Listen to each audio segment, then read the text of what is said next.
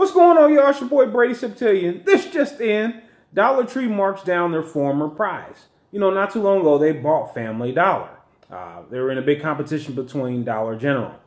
What has happened, though, Family Dollar hasn't lived up to the expectations, and quite frankly, they're going to start closing a bunch of those stores and converting them over to the Dollar Tree. Really trying to go into the rural market so they can go after the independent grocers and start increasing their price point from stuff from a dollar up to to 250 3 bucks the same way that Dollar General does.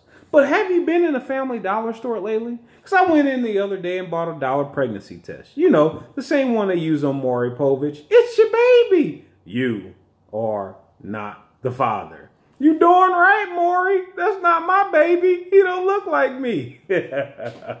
totally joking. But hey, ladies and gentlemen, let's take advantage of the stores that are local around us and support our local entrepreneurs. Talk